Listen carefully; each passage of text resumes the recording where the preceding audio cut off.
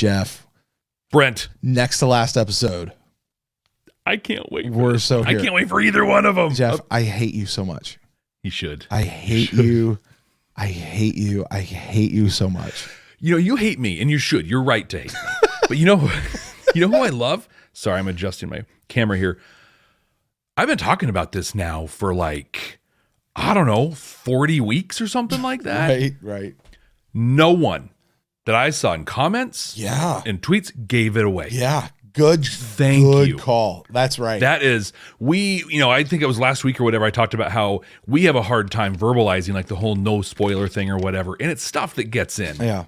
We've been exposed to spoilers, but we don't have the context, you know, for it to make sense, mm-hmm. kind of a thing. Yeah.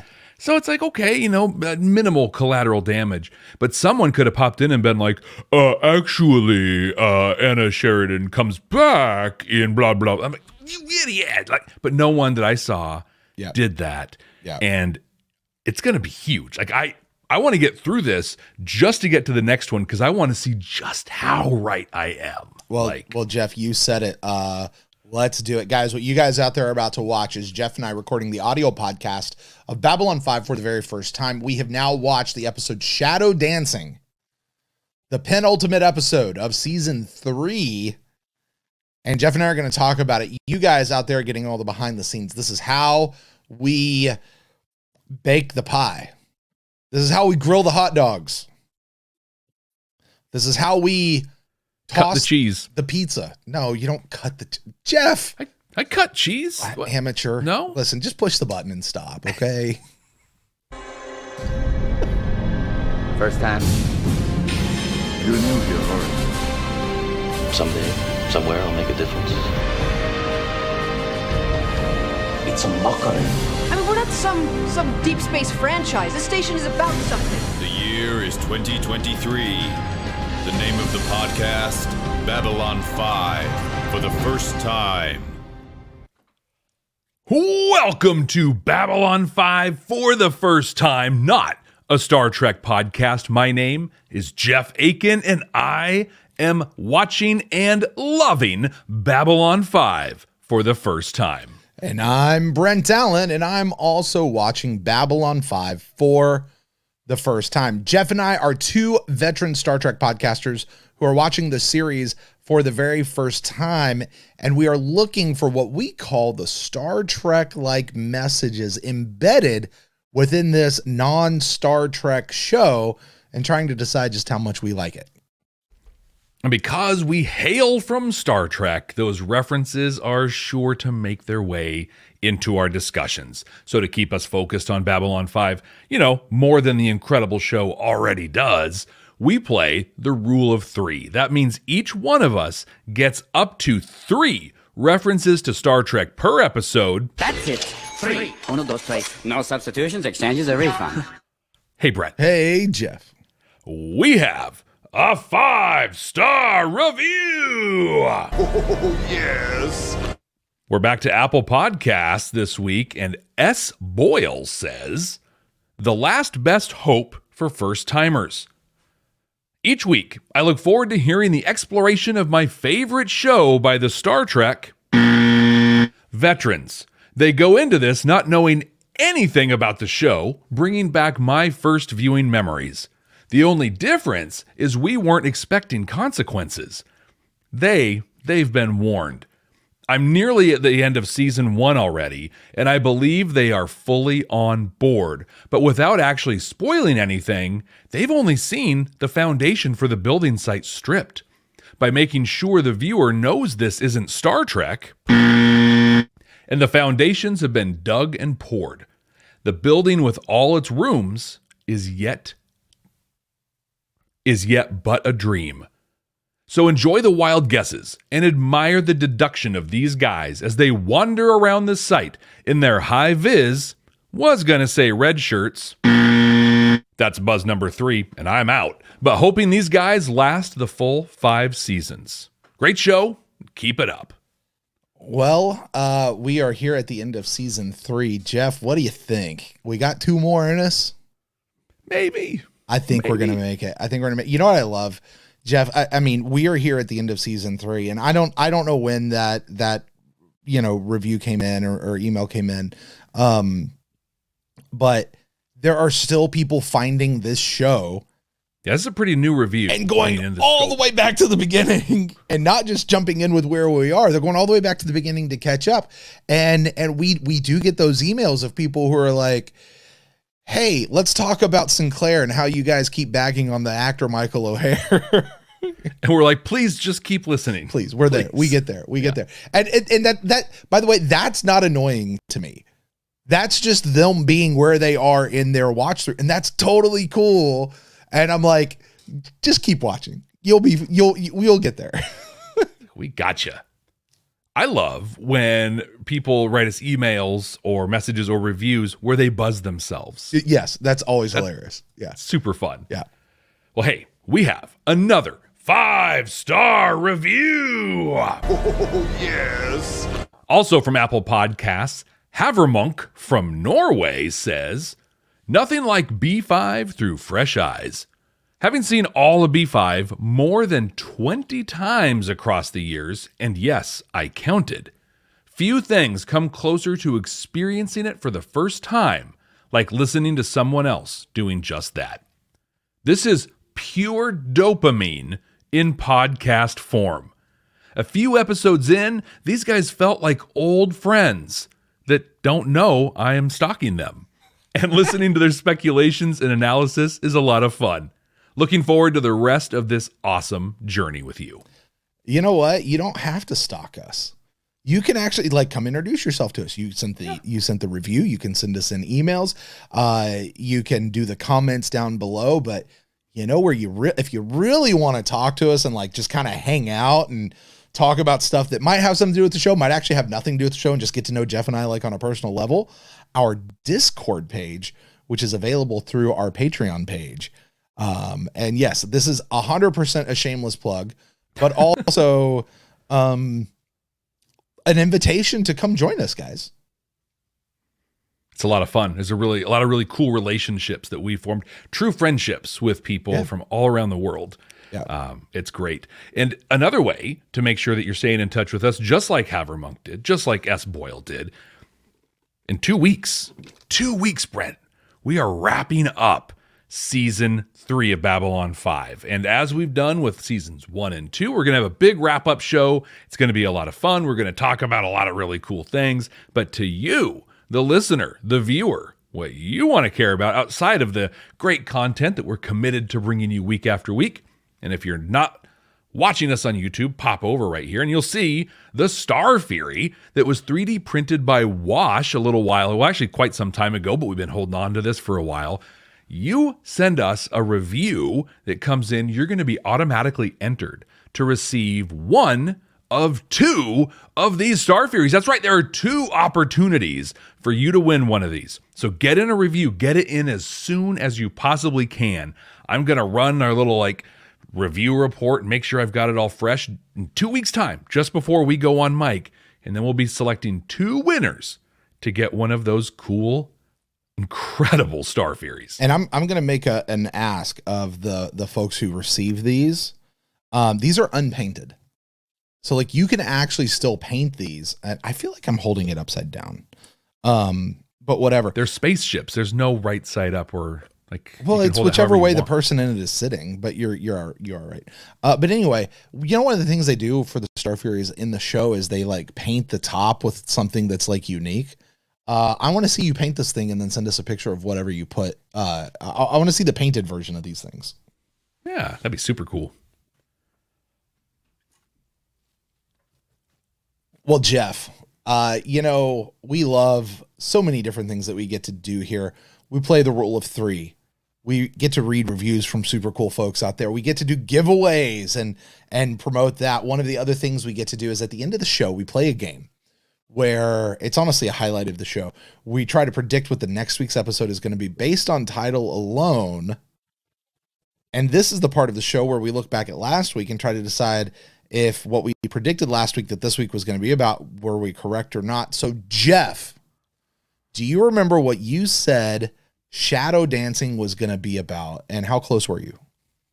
So I was kind of right on part of it. I thought this was really going to be about building up their fleet. And I thought though that it was going to be leading to the big battle with the shadows Yeah. that was, you know, kind of set up last time. We got the buildup of the fleet and the kind of politics around that and what was happening.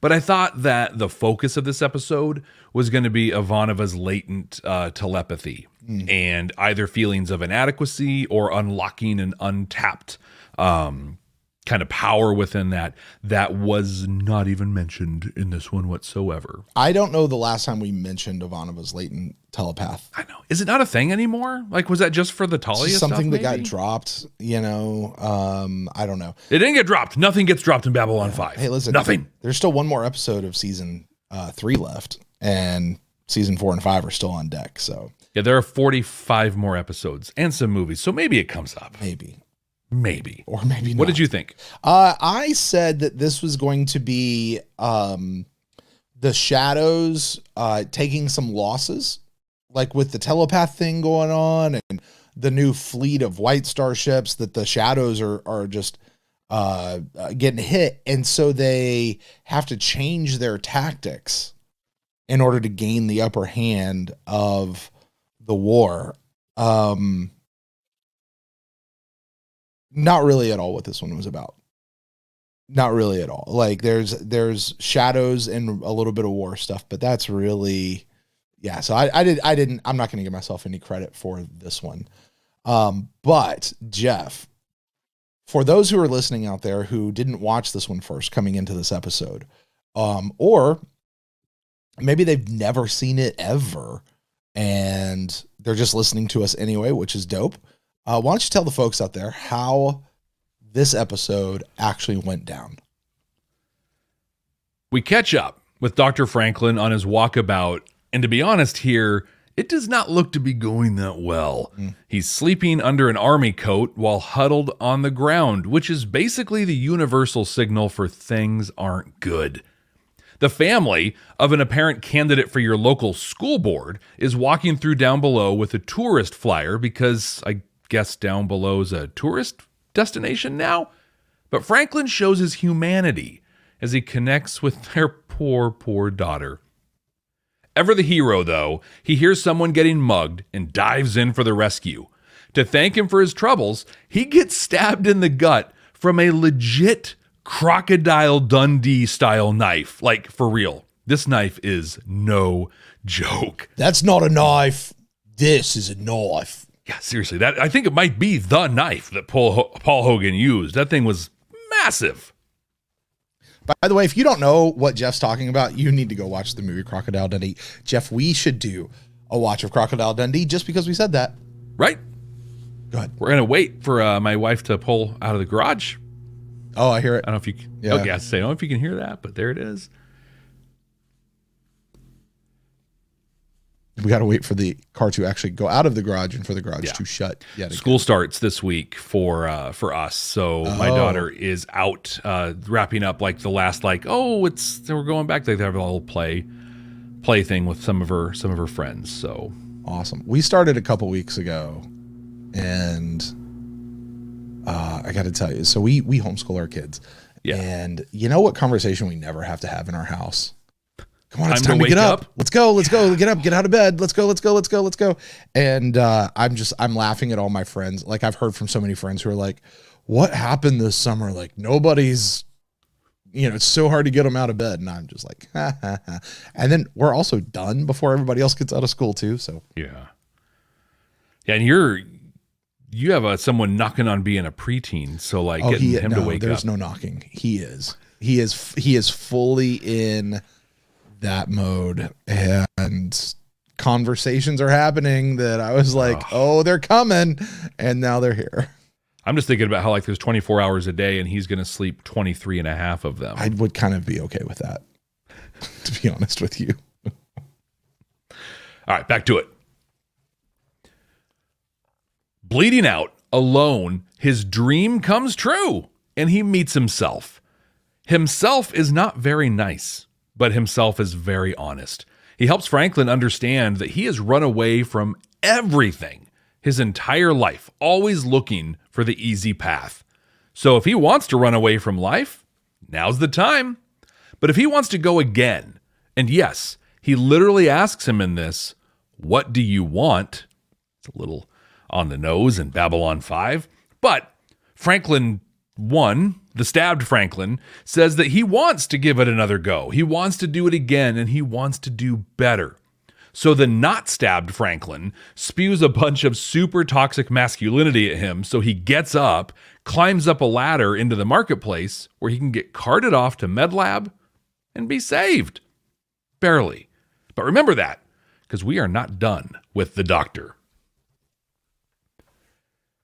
Delenn and Sheridan are ready to strike. They know where the shadows are heading, and this is a huge opportunity for them. But even with the new White Stars, they need more ships. The shadows are an overwhelming force. Delenn is pleading with the League Worlds for ships. They play some politics, but eventually they come around. So the plan is to send Marcus and Ivanova, or Ivanova, in the White Star to patrol the uh, to to patrol the area the attack will happen in so they can alert the waiting fleet. With some time to kill between prepping ships and getting the White Star on patrol, Delenn tells Sheridan that they're going to sleep together. Well, they're going to spend the night together. It, well, actually, Sheridan is going to sleep while Delenn channels her inner Zathras and belts out an old Earth classic. Every move you make, every step you take, I'll be watching you. Yeah.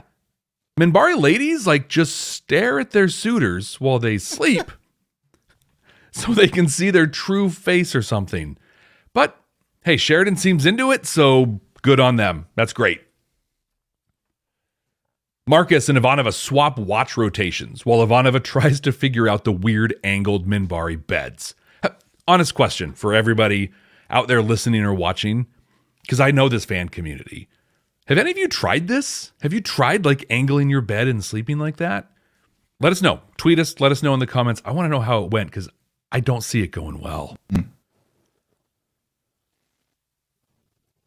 While they talk, Marcus shares that he's fluent in Minbari and he bears his heart to Ivanova, but doesn't translate it for her. Poor guy. And it would have been a good time for him to have done it too, because here come the shadows, and that might have been his last chance. They blast the Shadow scout ship, and it almost looks like it's bleeding in space. But shortly after, a horrifying amount of shadows appear out of nowhere. Just in time, the fleet pops out and it is on. Pew, pew, pew, boom, boom, boom. The fight rages on with Sheridan and Delenn commanding the fleet from a super cool room on a Minbari cruiser. The Babylon 5 forces are victorious, but at a terrible cost. For every shadow ship destroyed, the B5 forces lost two. Knowing it's just a matter of time before they strike back, everybody gets to work planning. But before they can really get to work, Sheridan, kind of out of nowhere, shares his vision from way back in early season two. I think the episode was All Alone in the Night with Delenn and Ivanova. They dream interpret the whole thing, calling out Ivanova's latent telepathy, and apparently, if I understood this correctly, there is a mirror version of Sheridan, an equal and opposite version that is important to the shadows. I think they call him the intendant. Between this and a few other scenes, we see a teeny tiny little ship pop out of a shadow ship in hyperspace and head towards, I don't know, probably Babylon 5. Well, Franklin, remember the doctor? We talked about him earlier. Well, he's in MedLab He's healing up, but he sees all the casualties pouring in from the battle. And just like before his walkabout, he can't leave well enough alone. And just like before his life changing experience on his walkabout, he can't trust others to do what they need to do. So he pulls himself into a wheelchair and takes charge of the situation. Sheridan comes in, offers him his job back. Franklin says he's changed and he's going to do better. You see, he met himself. And just like Jeff Akin, he didn't like Dr. Franklin either. Well, Sheridan and Delenn do their thing. Sheridan lies comfortably on his bed, on his back, flat, Imagine how weird, honestly, this whole thing would have been in those angled beds. Like, Delenn's just like staring at him, and he's kind of staring at her on those things. Whole different take when you put him in the Minbari ones. But she seems to like what she's seen. She meanders over to a table. It has both a snow globe on it and Jeff's absolutely ingenious prediction from way back in season two. In a scene that we just saw a few weeks ago, the bedroom door slides open and a woman pops in. She says, Hi, I'm Melissa Gilbert, Bruce Boxleitner's wife. And Delenn drops the snow globe. But Jeff's prediction rises from the table, causing a rewind of the scene. And then she actually says, Hi, I'm Anna Sheridan, John's wife. And the prediction explodes in a fury of lights and confetti. Brent, were you shadow dancing through this one or shadow boxing? I'm not sure I was shadow anything through this episode. uh, God, I thought it's gonna. Oh, now everybody's gonna comment. Brent doesn't understand. you don't understand subtlety nor nuance. Right, right, right. I don't understand character arcs or narrative story flow or, uh, you know, which absolutely accounts for why I've been able to predict like 50% of the show before it ever happens. Whatever. Here's the thing I am so tired of Franklin's walkabout story that I am glad it has finally come to a conclusion. At the same time, I am glad that that wasn't a one episode story. Like they let him sit in it for a while, but it was time to wrap that storyline up because I just I, I didn't care about it anymore, especially after last week with him sitting in the corner with the DTs, you know, rocking back and forth. Um personally though, Jeff, I loved the Franklin stuff Did you really? in this episode.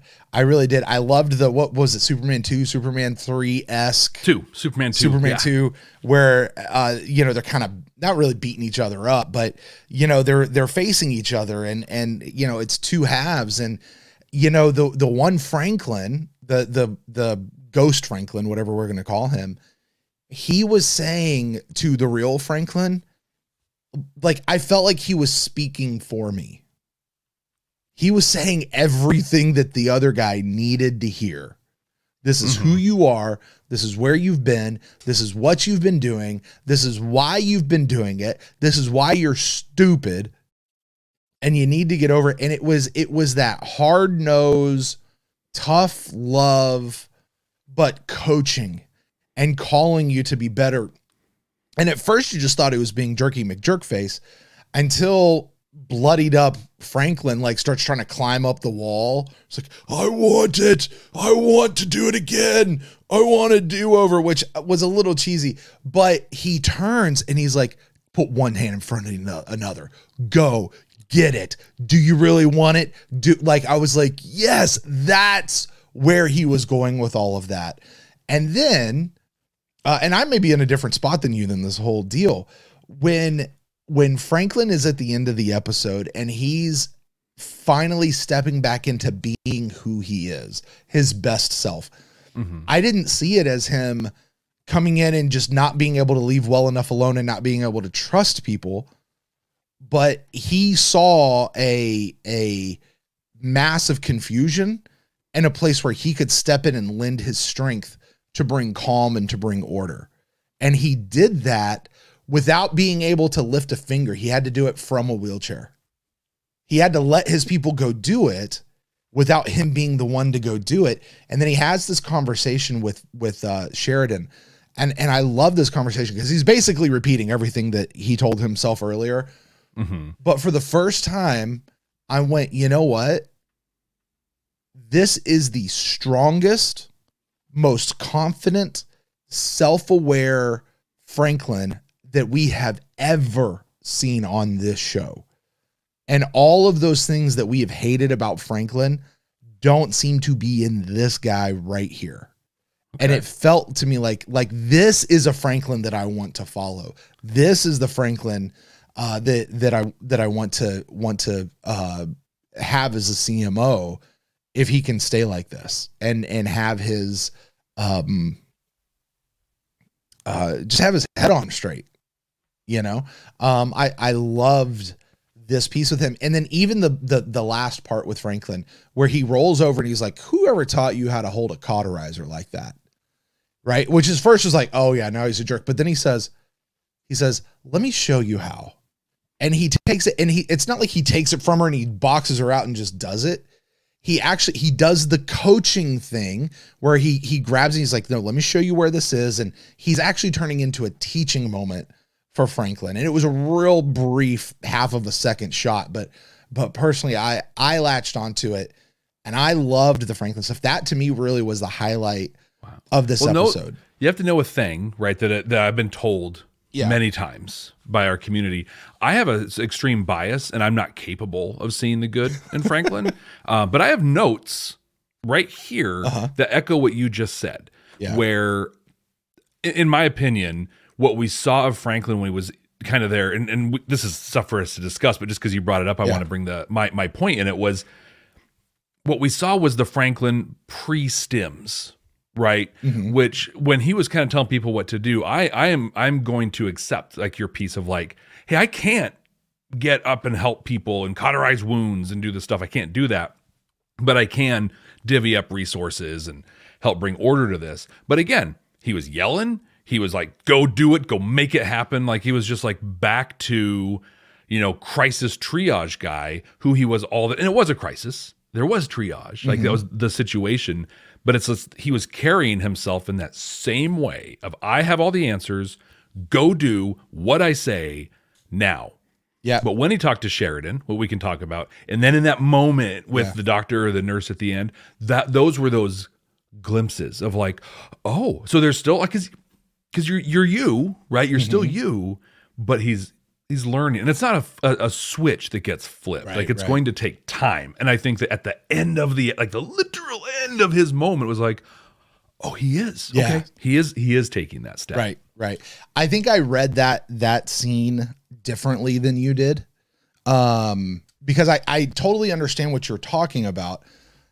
I just felt the difference was where before he would be like, "Go do this, go do this cuz I'm the best and I know everything and just do what I say to do." Where this was a person coming in leading, lending strength and frankly dropping a little bass in the voice to get mm-hmm. people to move. But not in an overlord commanding way Okay. in a in a in a a, a leader he, he's doing it the right way that's the way i read it but i think regardless of that you and i are at the same spot at the end of the, the Yeah, we get to the same place. Yeah. i will tell okay. you though, sorry. Sorry for interrupting. no it's okay uh i have to ask though what the heck was that episode with the lounge singer about now Seriously, If- that was his walkabout. if this is the episode where he meets himself and he has tough questions and he has to go through this process, then what was that about? And this might be a first time that I've ever had, Jeff, an episode that I was kind of high on that like I, I was digging what they were doing in the show.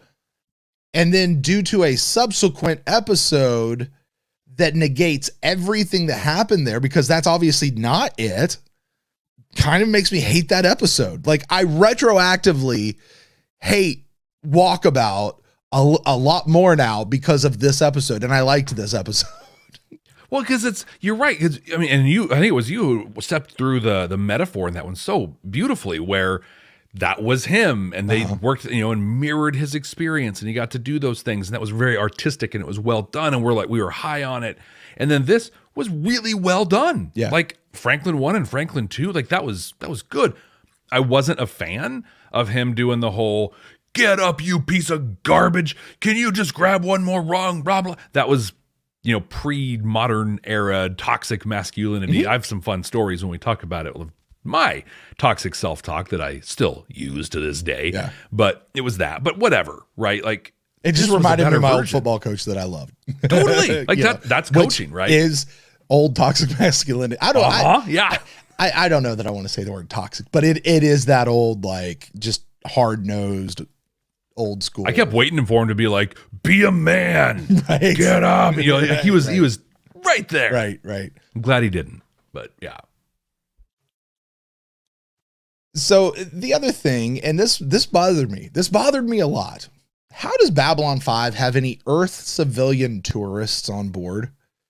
if we can't get regular news out to the group, who's giving them a passport to go to Babylon 5 from Earth? Much more than that, who's taking a self guided walking tour with a map with descriptions on it of the printed map. of the seediest part of the station?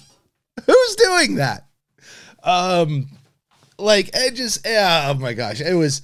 Uh, um, now the whole part with Marcus and Ivanova and the thing with the shadow ships and the the that was in many ways I think the comic relief of the episode. I thought it was fine. The space war was really cool to watch. Um, I thought I thought the whole Delenn thing was really really sweet. The whole Minbari culture of how they do things. Also, it was creepy as hell you know and i loved the callback to the to the uh, war without end vision um turns out that was just like a couple weeks away from happening not years down the road and jeff do you know when we saw that girl in in the vision do you know who i thought it was Mm-mm. i honestly thought it was another Delenn. now you had Oh, like mentioned potentially a daughter but i in my in the back of my head i was thinking it's another Delenn. She just Like, saw uh, herself come time through. frame Yeah, maybe it's the old Delenn pre Transformer or something like that. Like, or or maybe I, I just I didn't know who it was. Like, the idea that it was Anna was like, uh, and I did I did happen to look it up. That was Melissa Gilbert's voice Yeah, in that, that episode. You know, which in production world they very much could have had this episode filmed and shot, and then just pulled that that clip back over there. I don't know if they Mm-hmm. necessarily brought her in just for that one particular show. So, um, like overall, this was an episode where I generally liked all of the individual pieces. But Jeff, I will say, I I do think that this is an episode. Folks, I want you to hear me. I liked this episode. I think this is an episode where the individual parts worked better than the whole of the episode did together. The individual parts of the episode are greater than the whole of the episode, if that makes sense. It does. Because I think I love this episode. Yeah. But also it like my note here was there were parts of this episode that were really hard to track that were happening. Like it, it feels like I don't know if anybody out here we've talked about what kind of music people like before, and I and I love those conversations. Mm-hmm. But there's a uh, prog metal kind of super band called Sons of Apollo, Right. And uh, it's got Mike Portnoy on the drums. That's why I'm really into it. But I don't know, like five six years ago, they released a record called um, Psychotic Symphony. And the first track on that record is uh, so fun. It's uh, God of the Sun. I love playing it on the drums. It's so challenging. It's so great. But I watched an interview where they were talking about how they wrote it. And they said that, like, it was literally just a collection of riffs that was about 10 minutes long. And they sent it over like, hey, let's let's uh, work, you know, workshop this and get it down into a song. And they're like, no, dude, throw us more riffs and let's just cut these riffs together. So there's like seven different songs, like individual ideas for songs that they string together. Now these guys are galaxy class musicians. I mean, they're incredible. So they make it work. But if you're, I'd say if you're not accustomed to prog music, progressive rock or progressive metal, it's probably pretty dis- disjointed and, and jarring. This was Sons of Apollo does Babylon 5 Right. where it's like, hey, these are great riffs, these are awesome ideas, but the connective tissue doesn't quite connect. I don't know, but it's still pretty great. I uh, I am just you know for for the record. I know there's a lot of questions out there on my prediction for Anna Sheridan. I am going to hold off on a public statement or any uh and answering any questions until next week because literally all we know right now is it's uh someone saying they're Anna Sheridan. It's just someone So, saying, yeah, we don't actually know that it is Anna, right? yeah. Yeah. Every reason to believe it is because that's what I've been saying, you know, for for a long time now. But I mean, what do I know? I'm too biased to even see the good in Dr. Franklin that I said that I saw. So what do I know about Anna? But no, this was great. This is this is this was a good episode, a good penultimate one. I'm excited. Like th- this did its job. It got me excited to see what's going to happen in next week's episode. Well, let's go watch next week's episode. This episode's done. Let's go. Right?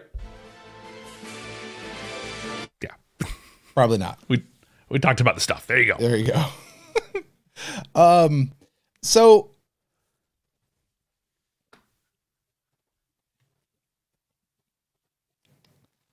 let's talk about the opening of the episode. Okay.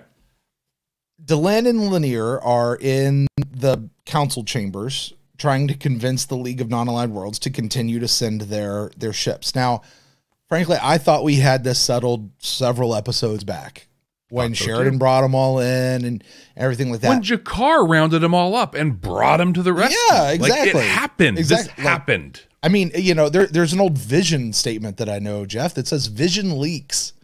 You got to, maybe that's what it is. Like you got to keep re getting them to re up all the time. I don't know. But, um, they, they, it was a really interesting argument where they said, you got to tell us what's going on. Well, we can't. Well, then how are we going to do this if you don't trust us enough to know what's going on? Well, we can't because that could expose what's really happening. And Delenn appeals to, have we ever lied to you? haven't we proven ourselves trustworthy then trust us now and they're like i'm probably going to need a little more than that. And you know what? I think the league had a point. Mhm. i think they had a very good point. If you don't trust us enough yes you're right. The the i the idea of trust in and of itself is that there is risk that this person could betray you.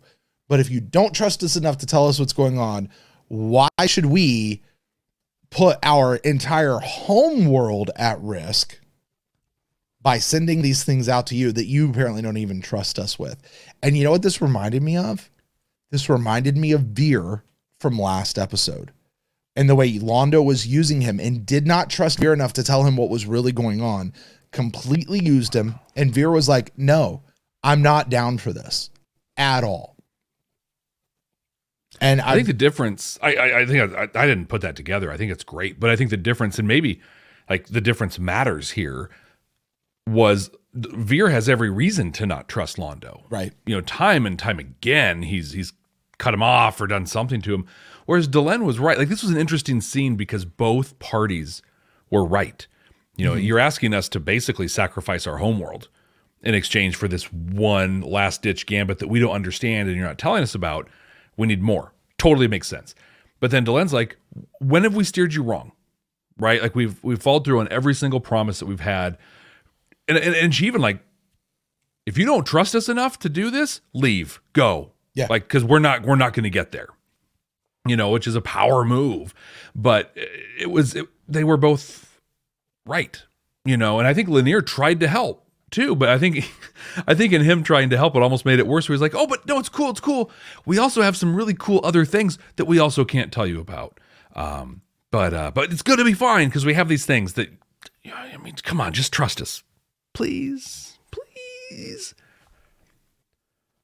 But to me, in that scene, what really hit me was Delenn looked very weak and desperate. She didn't look like the leader of the Rangers. Like she was like, "Come on, guys, Yeah, yeah. come on." I thought she looked physically tired.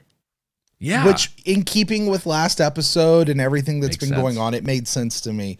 Um, I didn't think weak in terms of, um, I don't know if political power is the right phrase to use with what you're saying there, but I I get what you're saying. I just passed it off as being tired, but it, that were- does make you look weak. It does. Yeah. If if I were a league representative and I'm sitting there and we're talking and we're debating and she's comes at us with just let me finish. Right. At that point, I'm done listening.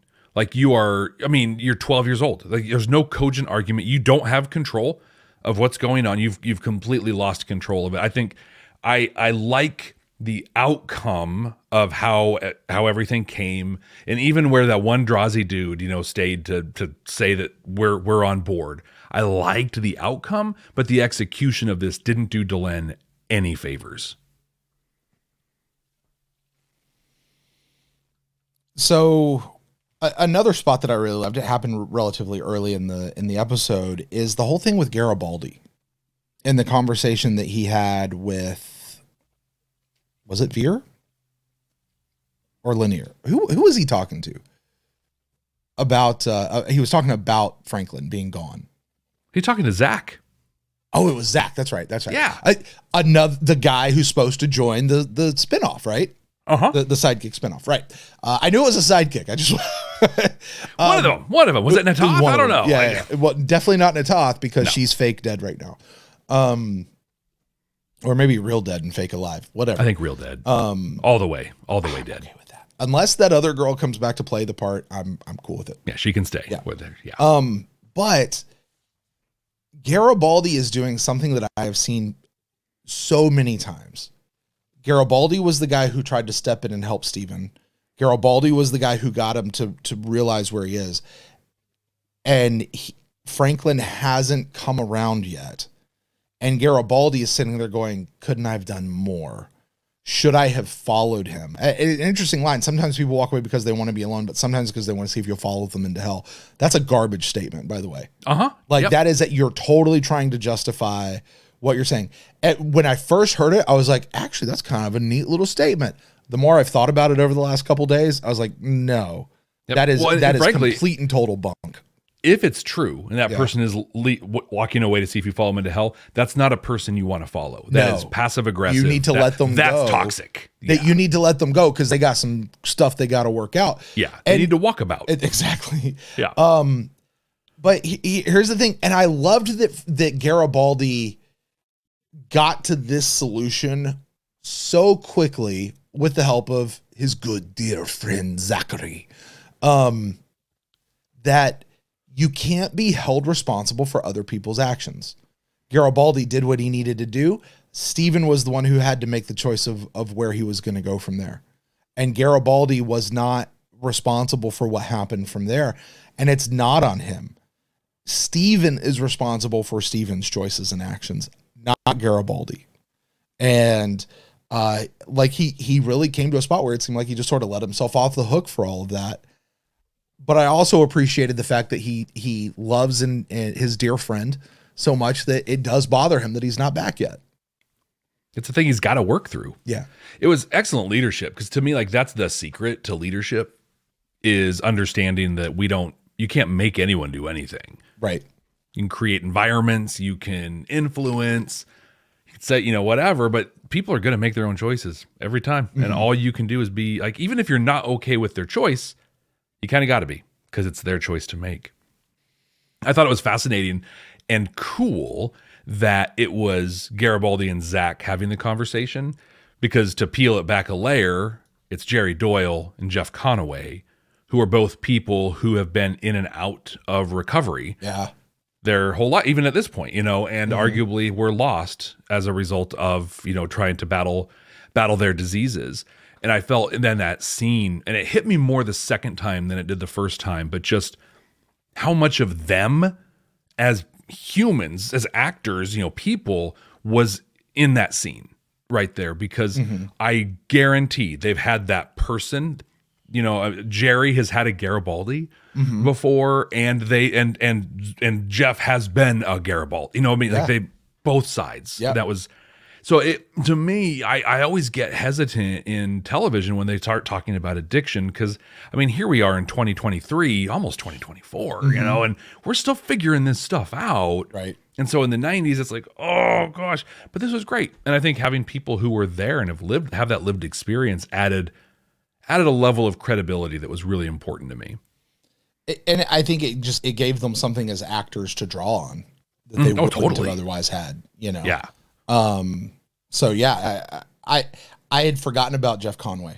I'm always aware of Jared Doyle whenever we get into these scenes. Uh, and and you're right.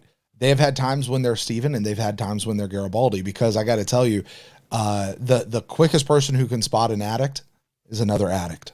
100%. you know, and especially in an addict who's in recovery wants to help all of his friends because if he can get recovery and they can get recovery, then my own recovery not only can be a real thing but can stay a real thing. Yeah. And that's important to anyone who who's in recovery and living living that life. By the way, if you guys are out there and you do need any help, uh, please uh, find the help and get the help you need. There is uh, absolutely no shame in that, and uh, there are uh, nearly every community has great recovery programs out there. Just reach out. Yeah, I'm, it, it, one of the things I'm most proud of in my professional career is being able to have, from an administrative standpoint. I mean, I'll own that, but I was able to really support the the, the peer support programs that we've stood up in the state of Oregon. That, that I'm really proud of that. Like, it makes a real difference for people, and um, I helped in a small way, but just being able to have done that uh, means means it means a lot to me to have done that. So yes, please, that helps out there. Uh, Jeff, before we get too far off on the other stuff, I, I want to dive into the Franklin stuff just a just a tad more, if we may. Um, I, okay, one just a complete side note: when he got knifed, that's not a knife. This is a knife, and that th- sucker went into his gullet. My first words were, "Is he leaving the show?" Same, same. I really thought like he was out of the show at that point. And and I was like, you know, we've heard about how JMS has written um uh Trapdoors. trapdoors for all the characters. And I was like, was Franklin's trapdoor to be killed? Right. I mean, Talia had a pretty cool trapdoor until we got yeah, she was dissected. Ugh. you know. Oh my god. Oh, Jeff, I'm still so mad about that. I. I still want evil Talia. I still want evil Talia, and I What want a great time for- her to come in. They're recruiting all these telepaths, and she shows up. I want I I, want evil Talia to descend upon latent telepath Ivanova and do something. Like I I that's the that's the story I need. Anyway, um but I want to dive into the to the conversation that the two Franklins had. Mhm. And and here's what he called him out on it. And I, I I'm not going to say this verbatim, but Franklin says, "Look, you use work to run away from your personal life. Then you use stems to run away from work, and now you're running away from everything." And I was like, "That is Profound. yeah, Yeah. and fascinating as an analysis of his character." And I kind of want to go back to the beginning. Maybe we'll do this on Babylon 5 for the second time. But I want to watch this from Franklin because here's what I don't remember. Was Franklin always using stems, like even from when we first met him, or did he just start using stems over the course of the show? I think it was new. In fact, in the Quality of Mercy, Mm-hmm. um, Dr. Julie, what was it? I forget her name. The old lady. Um, yeah, Yeah. who was hooked up to the machine. Yeah, that was yeah. her thing. She got dis, uh, you know, had her license revoked for using stems. And I, and I could be making this up because yes, I'm biased and I can't see the good in Franklin. but I think he even like judged her, like, well, you can't use stems. Like, who are you to do that? Well, yeah, and I think that we saw that him. anyway. Yeah, we saw him start doing it. And I think that was supposed to have more impact. When it's Mm. like, oh my gosh, he's really slipping. I don't I, like at this point. I just feel like he's always been doing the stems since we show since we we first met him. But I want to go back and I want to see like I want to track this thread mm-hmm. with him. Maybe it actually even has it can recolor the episode grow Gropos where we met his father. Yeah. You know what I mean? Like I'm I'm kind of interested to go back and you know be- it, that because you know what I don't do very well apparently Jeff is I don't do character studies At all. at at all. I don't No. I don't do character studies. No, not at all. So uh you know maybe I'll maybe I'll take some people's advice and go start doing character studies out there. Yeah, but they I, I thought it was neat where they brought up the old stuff, right? They brought Mm-hmm. up the fact that he um hitchhiked around on on cruisers, Right, The fact right. that he trashed his notes on Minbari biology. I didn't did fact- you remember that? I didn't remember that one at all. Was that Oh, totally, yeah. Yeah. Yep. Yeah, we they talked about when he was given his yeah, I hitchhiked around on cruisers. I became an expert on Minbari biology, and when I understood they were going to use my research to hurt people, I destroyed it. Oh yeah, that's right. Yeah, yeah, yeah. So this is all stuff, and, it was, and then they even referenced the Gropos, where they're like, "You couldn't be a soldier like your dad, so so you so you ran away into one of the like most difficult other jobs you could ever possibly do." Right. But apparently, in his family, like you know, if you're not a double PhD, you're garbage. Right. So he's still lived up to some expectations, but You know, it makes me wonder is is Franklin is he an MD or is he a DO?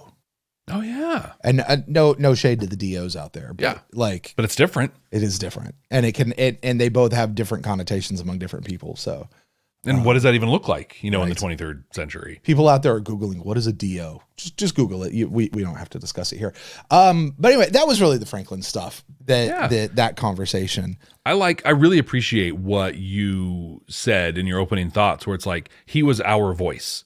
and that you know Franklin two or you know Ghost Franklin, just like all the literally all the things we've been saying. He's just like, dude, stop. Yeah. you just stop. Yeah, and they, and so you're gonna go back. I want to go back. I want to do it again, which was a uh, not my favorite writing line. That's that's not. mm, You know, you There, could have said there were some few other there were some but- real holes in the writing yeah, in this, but Yeah. there weren't a lot of holes in the acting.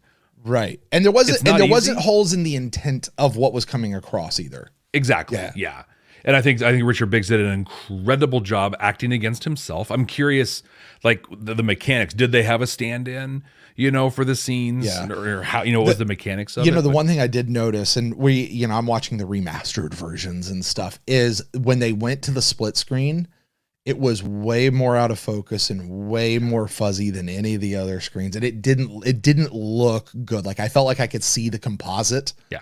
uh out on the edit and you know listen on an sd tv in the 90s it would have been just fine the scene where stabbed Franklin was starting to climb that ladder, Yeah. and Ghost Franklin was leaning on the rung. On the composite, the rungs didn't quite line up, and so like Ghost Franklin just looked off. Off, yeah. The- and it was and it's the same exactly that where it's just like this would have been fine on an old Mm-hmm. TV, but on this I can't stop looking at it, and it's really distracting me. right But the acting, oh, I've said it many times. Richard Biggs, is, and I'm consistently blown away by what he brings to Franklin. Yeah, absolutely. Um, Jeff, I'm not sure what all to really go into. There's the rude woman who's being offensive walking around as a parent, Whatever. whatever. Um, Marcus is completely hitting on Ivanova. Well, I think we said, was it last week? Like, did they just drop that whole storyline? Well, now they brought it back up. I did like his point. He's like, you know, I could teach you Minbari. He's like, ah, that would take like a year. I just don't have time. And his his question, I, th- I thought it was a really neat question. Oh, well, how old are you going to be in a year if you don't learn Minbari? And she goes, the same age. Like, so get on it. Just do it. Like, There's a cool theme between this and the War Without End episodes of time, Uh-huh. right? And how like time impacts us. And Zathras said it best, right? He's like, time is infinite. We Are finite. are finite. You know, it's just how we use that infinite resource. And this was a really great example of that, where it's just like, just if you want to do it, just do it. Go. Go. I felt bad though for Marcus because I think I think that he knows one way or another that like he and Ivanova is not gonna happen. Mm-hmm. And you know, she she's in love with with, with pieces that are in a petri dish now somewhere mm-hmm. in, in a Psi Corps facility. And you know, that's that's fine. It's that's good for her. I, I hope Ivanova can make can can get over that. Like I I'm I'm okay with Ivanova and Marcus getting together because that's a that's a neat couple too. It'd be cool. I'd be happy. I don't, but I feel like in that moment, like when he, because like he's like, I'm gonna, I'm, I'm I got a line, Uh-huh. I got a line I'm gonna use on you, but I'm gonna say it, Minbari, so I can say that I said it, but also I don't have to put myself out there. Uh, he totally lied to her, by the way. Um, but we, but what a beautiful lie! It really right? was, yeah. My words are inadequate to the burden of my heart. okay, which poet did JMS lift that line from? Well, because I want to go back to like 17 year old Jeff and be like, just say that my words are inadequate. And doors open, dude. She'll be staring at your face all night while you sleep. It'll be amazing. You want to what, what's the name of that guy that had uh, oh Cicero? You want to Cicero the whole Yeah, situation, yeah. right? Inadequate. Just Yeah. that's the word, Jeff. Say that. Right, right. um, uh, then then there's just the com- the comedic part of Ivanova trying to take a nap, Yeah. trying to go sleep. She can't. And the sleep. second she gets she fl- comfortable. she flattens the bed, which I'm like, I wonder if Sheridan knew that he could do that when he was trying to sleep on those things. but, apparently it's an inversion table. Oh well, I I hundred. I was like, dude, a lot of people pay money for inversion tables, and she just got one for free. We have one. Oh, We've I know one. you do. Yeah, It's amazing. yeah, yeah. We had one for a long time that we got from a friend. They just gave it to us. Stood in our attic for years and years and years, and we left it last time we moved. Like ah, whoever whoever bought our house, we gifted them an inversion table because we're like, we're never using this thing. It's hard to move. Uh, Those yeah. things are hard. Yeah. But it's funny. Yeah, she gets comfortable. Oh, okay. I've got it figured out. Mm-hmm. Ivanova to the bridge, to the bridge. Right. And, right. and it was great. You know what? What I love, I love when the military stuff is done right and done well. And that was one of those moments. She didn't be like, oh, she up and ran. Yeah. Right away. She knew what was up. Yeah. Um and and I I loved that she was just like, you know what? I'm just gonna grab all the pillows and make myself my own little bed. Yeah. Like as a as a 1990s latchkey kid who's just grown up with, you know what, forget it, I'll take care of it myself. I'm just gonna I'll do it my way. It's fine. I loved that Ivanova spot. Like, look, fine, I'm gonna do it my way. Forget about it. Um so there was that. Uh the space battle stuff was cool. It was okay. I, I've got some questions, Adam. Like just about the little shat the little tiny shadow ships that we've never seen before. We I feel like we have seen a couple. Have Like, we? There's the there's the big not those, but I'm saying there's like the big ones. What do we call them? The battle crabs or whatever. Okay. And then there's the littler ones that we've seen a couple of times that are like I don't know fighter size or whatever. But there were like these real little ones like that I've never seen before. thing. Yeah. Yeah. Yeah. It Didn't I mean we saw it at the end, but in the battle they were doing stuff. And it was kind of I, I I felt like Well, they said they were scout ships or something, right? Yeah, or something Yeah. like that. I don't know, but, but but it also makes sense. I mean, look at all the different ships even the Minbari have, you know. So why why wouldn't the Shadows have a bunch? I was very underwhelmed with the impact I'm of sorry, the Jeff. It's oh, the it's the shadow ships of the line. That's what we need. yeah, is that a book? Is that a thing? it is. It's all black pages, though. You can't read it. And once you shine a light on it to read it, shadows go away, and so you can't actually see it. Right. We should publish that book. There it is. But I was I It's was just a, of it's un- just a book of blank pages. Well, every time you put the light on it, the shadows go away. It's there though. Goes away. You got to look at it in the dark. just can't see it. So. I was I was underwhelmed by the impact of the telepaths. Like I Yeah. felt like that was going to be a game changer, and we watched that a one to one ratio between the Minbari and the ships, and they crushed them. And in this one, like, eh, Yeah. It's I mean, it didn't feel like one was outnumbering the other. It didn't feel like there was twice as many shadow ships as there were White Star Fleet Battalion League of Non-Allied World people. Um it just it felt like a space honestly, it just felt like a space battle where one side was a little stronger than the other. And you know, and then out of nowhere, out of nowhere, it's done, and the Army of Light wins. Like I felt like the end was just like, oh, the oh, we Army won. of Light. Wow, I haven't I forgot about that phrase. They, they haven't drilled like they said that one phrase and you're like, okay, that's so cheesy but cool, and then like they haven't really come back to it a lot. Yeah, I, I, I just want to call them the Babylon Five forces. There you like, 'cause go. they're under the banner of Babylon. Five, and that sounds cooler than Army of Light. The, but the yeah, BFFs. I guess they won. They're the BFFs. That's a T-shirt, Jeff. That's a T-shirt. is. The BFFs. We're gonna defeat them with the power of friendship Forever. forever. but that all led uh, right to Marcus, not Marcus, but Sheridan, Ivanova, and Delenn kind of debriefing what's going to happen next. And Sheridan's like, "Oh, by the way, I had this vision. Do you have one of those dream interpretation books? yeah. So What happens when you get stung by a bee in a dream? What does that mean? Yeah. Let's look that up. Okay, so one, the interpretations of these visions were incredibly iffy. Yeah. But the big takeaway I got out of that and is as similar as these visions seem to be to Sisko talking to the prophets. They are not the same thing. This is not Sheridan getting a vision from the gods out there. These are, and they clearly stated it. Kosh gave me these things in my head. That's what it, it's coming from Kosh. And I was like, like that completely the the line that I put of those two things kind of like eh, it was a little little little close. Completely separated those. And I know people out there are clacking on the keyboard keyboards right now. No, no, no, no, no, no. Say save your breath. Uh, But because what we know about the Vorlons, we we watch them go in and manipulate G'Kar. yeah. We we've heard about manip. We saw what's his face, uh, Jack the Ripper. Yeah. you know that they used for Should have had things. King Arthur in the right way, but they messed up on that one. Yeah, they couldn't. They couldn't. the one bad episode of season three, Jeff. That literally, literally It one. might be the only actual bad episode of season three. But in the end, it was just like, oh, okay. So this is this is a Vorlon Kosh manipulation, like everything else that we've seen.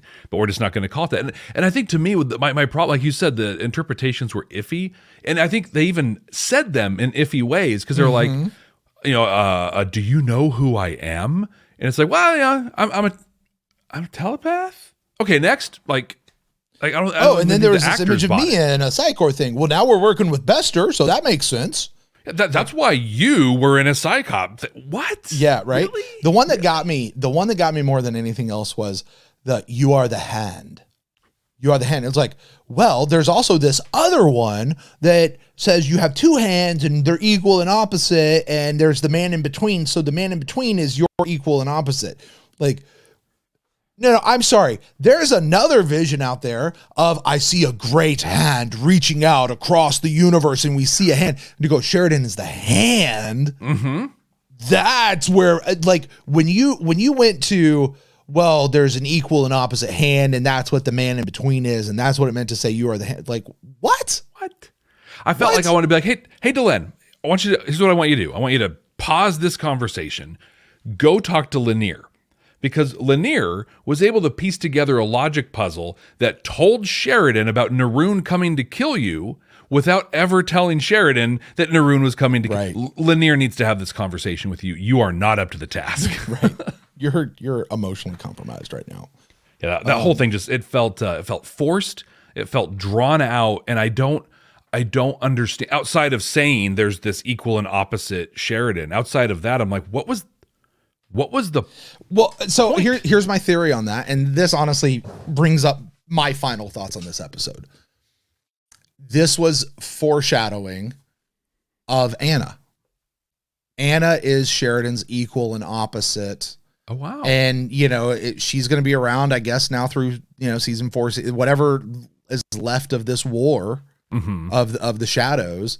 Um, and and it's pretty clear to me, at least I would think, that you know here's Sheridan leading the army of light, and it's going to be Anna, not Morden, Anna leading the army of darkness against each other, and they're as former husband and wife, they are equals but opposites of each other.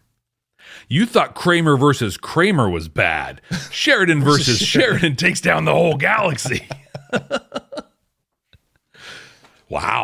I like that. I, I hadn't even considered that. I figured, like, I'm like, man, in between, I literally was like, was the Psi Cop Sheridan in the vision not a Bester thing, but like, there's literally an evil doppelganger version of Sheridan over on the like waiting at Z'ha'dum, like in a pod, you know, or whatever. Like that was I- I like I like the Anathot better. So the one thing they still haven't explained though is why does everybody have birds on their shoulders? yeah. Uh, they, did, they didn't explain that. What? Oh, did you figure it out? What is it? What if they're keepers? Oh, but it's like, a vision it, were- but these are visions from Kosh. Uh-huh. These are visions from Kosh. Like They're warnings. Oh. Garibaldi and Ivanova are going to get keepered. And he's oh, not telling No, what not if, no, no, no, no, no. Flip it around. Flip it around. Flip it around. So you got the keepers that are taking on the bad guys. What if the birds are like the good keepers? Like they're the Okay. Vorlon, like the spirit. Oh, there. You, here's your Catholic thing. The spirit of the dove in the form of a dove descending Uh-huh. upon you. Garibaldi had a literal dove. Yeah, he had the Ivanova had a Holy raven. Spirit. You know, Holy Ghost sitting like, right there. Like, what if it's it's the positive version of that? Wow. Oh man. Who am I? Well, you are a force of light. That's who you are. There you go. Like let's bring that out and do those things. Oh, yeah. Cuz I think they were even on the same shoulder as Londo's keeper was on. I think. No, I think they're on opposites. Oh, I'm I'm, I'm putting it in my head right now, and I'm pretty sure Londo's was on his right, and for Ivanov and Garibaldi, the bird was the on left. the left. That supports your Oh, theory because then it's a devil, little devil on one side, angel angel, on on, the side. other. Oh my Yeah. gosh.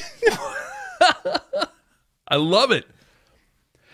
Well, Brent, I think we've reached that point of Mm-hmm. our conversation where we're going to boil this all down. We're going to see if this episode had any of that Star Trekky quality to it, if it has a great moral message, if it's holding up a mirror to society, or any of those things that great art and sci-fi tends to do.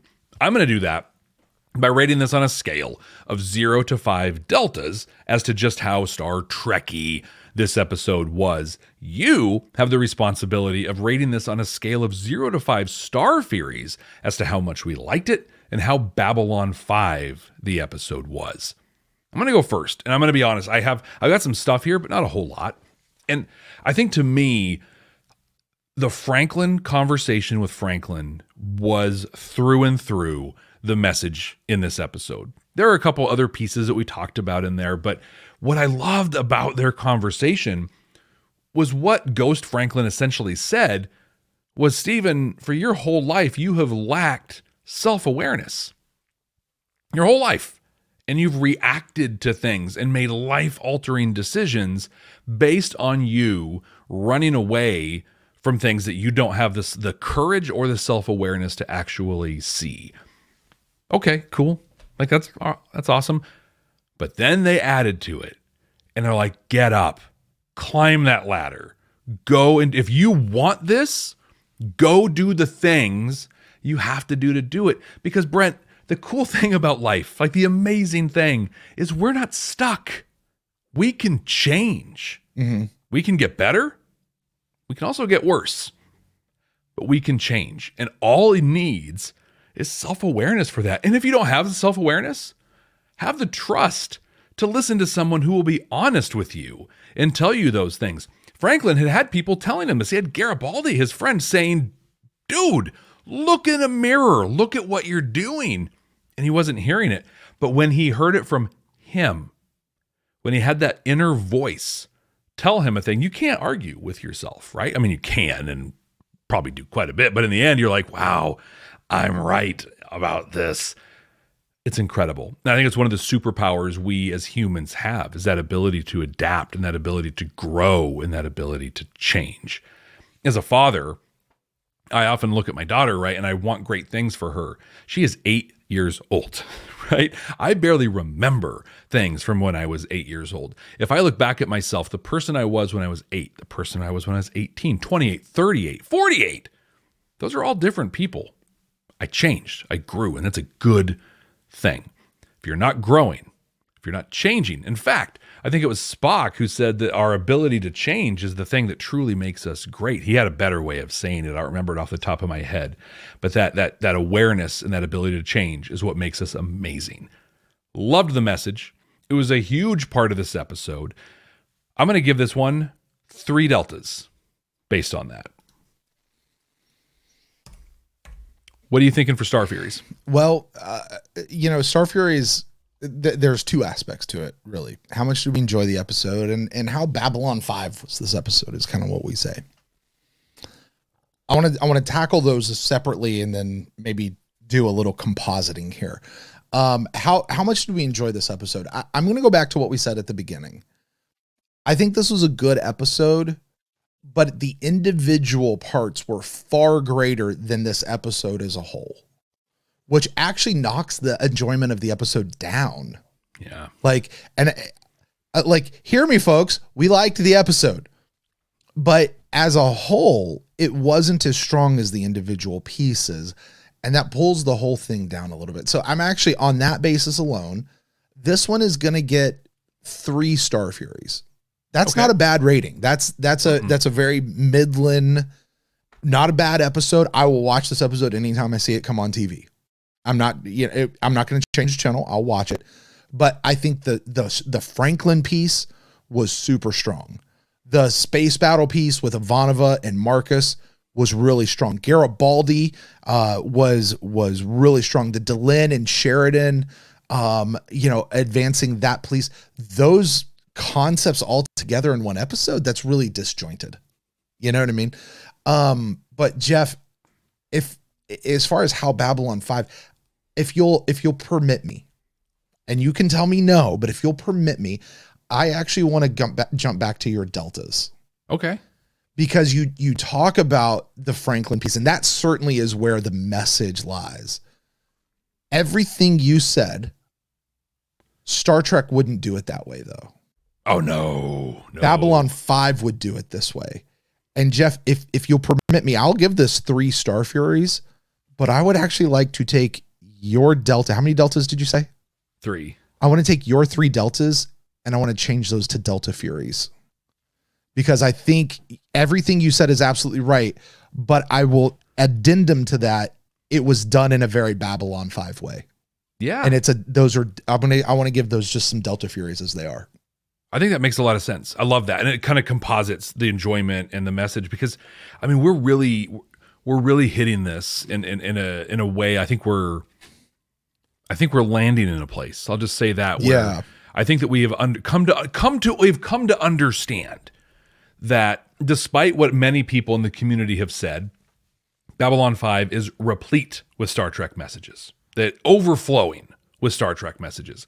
There are people out there who have told us that looking at this uh, series through a Star Trek lens is negatively impacting our enjoyment. I say no. I think it's enhancing ours and many people's in the community. But we've come to understand, I think we're coming to understand, and I'm going to wrestle with this a little bit. Um, not here now, because you don't want to listen to me talk out loud about this, think out loud about this, but yeah, there's the message, but Babylon 5 is its own thing. Yeah. And it does this, it, it imparts these messages in a very strong and unique way. Yeah. Yeah. Cool. Hey, you're not done though. Hope you haven't punched out because Oh. now you have a, a near what what's going what is becoming. You now have what is becoming a near impossible task.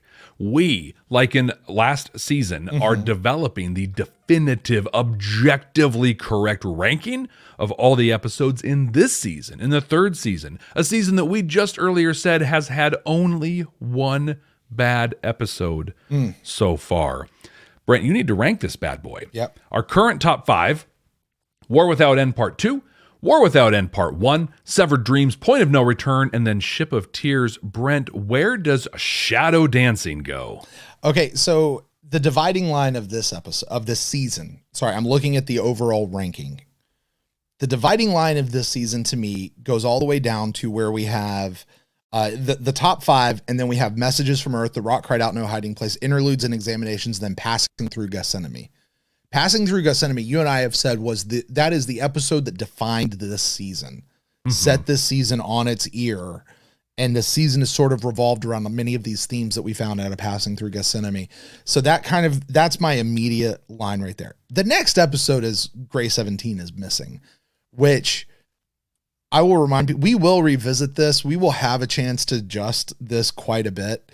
Um and then we have Matters of Honor and Voices of Authority, which that was the episode with Chicky in it. Uh, Dust to Dust about the drugs and Sic Transit Vir, and then Walkabout and Day in the Strife and Convictions and Exogenesis, which I thought was a great episode. That's the one with the bug. Uh, Ceremonies of Light and Dark, which I didn't really understand, but it was there. And then that one episode we don't talk about. Um, all good episodes. I don't think this one cracks passing through Gethsemane to me. Okay. I like again, I like the individual pieces, putting them together and viewing it as a whole. It just didn't work for me on that level. Uh, so I, I'm not placing it up there, but I do think that this is objectively better than Gray 17 is missing. So I'm gonna place this between passing through Gethsemane and Gray 17. This is our new number 10. This is a top 10. People want to yell at me. Guys, this is a top 10 episode. Top 10. Might be top 11 by the time we're done with next week. Yeah, you. Uh, I, I, that's, I'm not gonna lie. You're gonna. You're gonna. Th- th- there are people that are, have just like their their brains literally have exploded. Oh, Like, oh, it's I, oh, not- the the the messages that we've got in comments and stuff since Gray 17 and missing are, are frankly hilarious and a bit disturbing. a little bit. So- but yeah, I think I think you literally just took kind of like the accelerant that was laid down by people's feelings on that, and you just boom dropped the match. wow. Well, um, I can't. Listen, I just want to say Gray 7 as of as of next week, Gray 17 will officially be in the bottom half of the season. yeah. I'm just I'm just assuming that the season finale is going to be one of the top rated episodes. Just making a guess. Wouldn't that be wild if we're just like season finale worst worst episode ever? like JMS, I what are you in real, in real time we could watch our subscriber and follower counts drop off. just be like they're like, nope. Nope. See you next. There's no hope for you after this one, guys. Sorry. Well, Brent, that's it for Shadow Mm-hmm. Dancing. Next week, we're watching the season three finale. Mm. It is appropriately named, I'm going to assume, based on everything we've seen so far Mm. Z'ha'dum. That's what we know about it. We Mm-hmm. know what we've watched in three seasons and the title of this episode. We haven't looked ahead. We haven't read any synopses. We haven't looked at thumbnails, anything. And the fun game we love playing here on Babylon 5 for the first time is guessing what the next episode will be based on the title alone.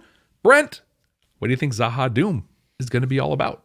Well, uh, honestly, Jeff, um, I I don't want to. Pre- I never want to put on airs when we when we come here. Just we'll own right where we are.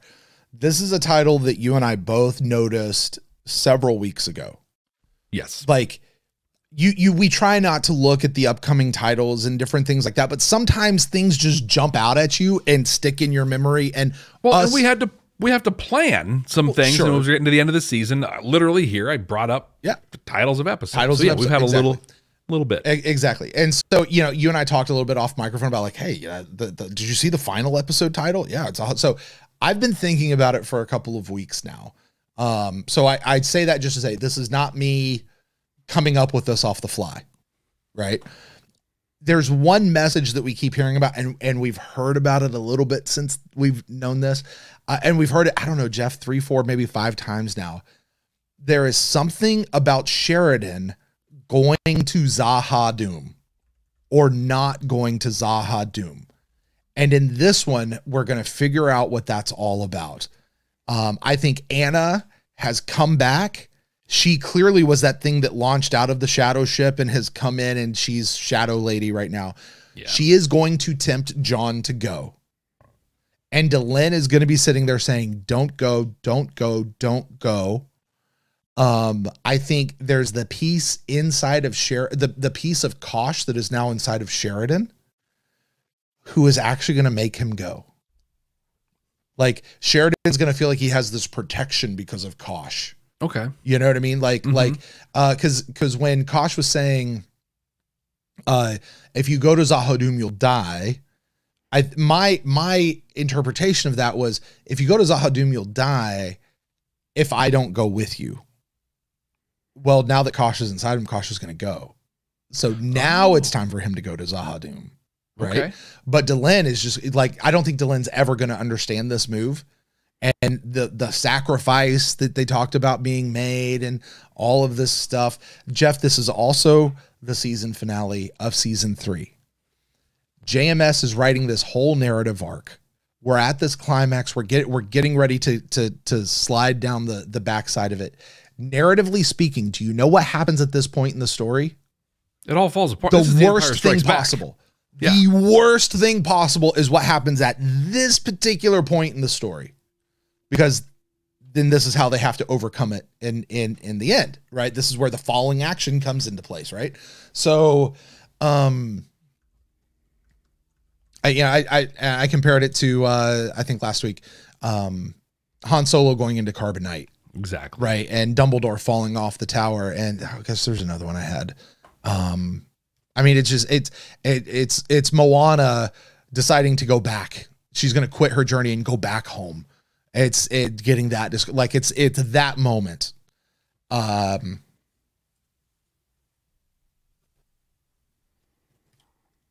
sheridan's going to get captured.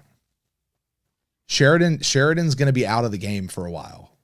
Yeah. stuff's stuff's gonna happen with Sheridan in this one by going to Z'ha'dum. And I I yeah, I don't know what.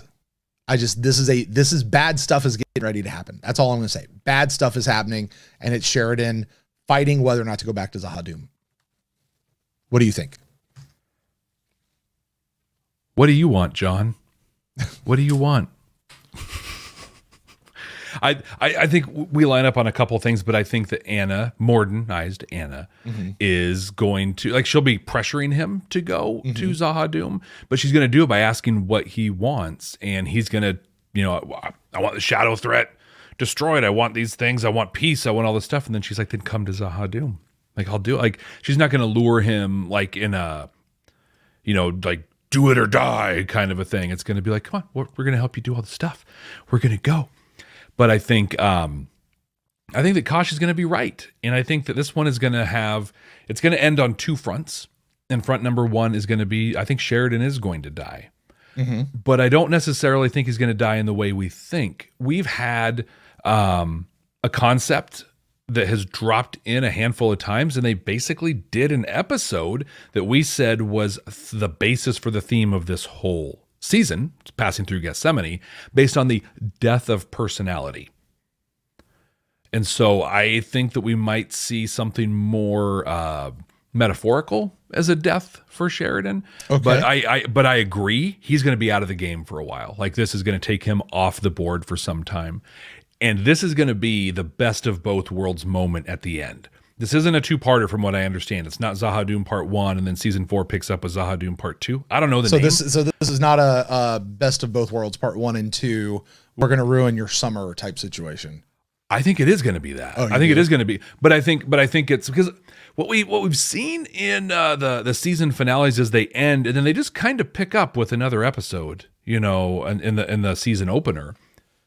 I think though the fire moment of this is going to be people don't know what's up with Sheridan necessarily. Maybe he's fallen out of comms or something, but they're going to be doing business as usual, and all of a sudden, like 40 shadow ships are going to pop out of nowhere, surround Babylon 5, and then it's going to fade to black, and we're going to see Doug, Douglas Netter's name pop up on the screen, and we're going to be like, what? And you know the part of that that's gonna suck the most, Jeff, is we don't get to press play and go on to the next episode because next the the week after next week is the season three wrap up. We don't get to go to season four till after that. We cannot watch. We're we're people are asking. We're not allowed to watch season four, episode one until after we do our season three wrap up. Correct. And in fact, I want to I want to shout out our our incredible support and good friend Nia, who uh, you get to know if you're on our Patreon Discord. Discord, but a while ago, Nia provided me with the instrumental music for the intros to season three and season four. We get So new, don't we get to- new music. Yeah. Oh, I'm excited. fun. I'm excited to hear new music. Okay, cool. but I I don't have to go look for that. So I'm not going to have any sort of tease, any sort of idea that I had a little bit of Nia's coming into season three because I had to find. So yeah, Nia's, Nia's got her back. Nia's She's the best. Incredible. cool. But um, we're gonna find out next week what Z'ha'dum is all about. Thank you everyone so much for joining us. If you haven't already, please follow or subscribe wherever you're listening or watching us, and leave us a review. Not just because we love it, we absolutely love it when you leave reviews, but we're doing a giveaway in two weeks, two weeks time. You got a review. We're going to pull it out. We're going to give away two Star Furies. And all you got to do to make that happen, to get your chance for it, is leave us a review. So, Brent, until next Hey, time. Jeff. Yeah, man, what's up? Okay, let's go. I'm I want to go watch this episode. Let's go. Just forget all Let's do it. Peace, victory, long life. It's my first time.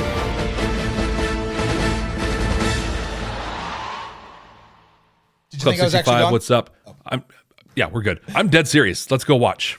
Okay. Do you have anything for Club No, 65? love you guys. Club 60. No, I gave you all of my notes. I don't have anything left over for them. So you guys are rock. Hey, get your t-shirts. We'll talk to you next time. Z'ha'dum. Let's go. See you. I got to hit end. You got to hit end. we got to go. I was like, That's bad.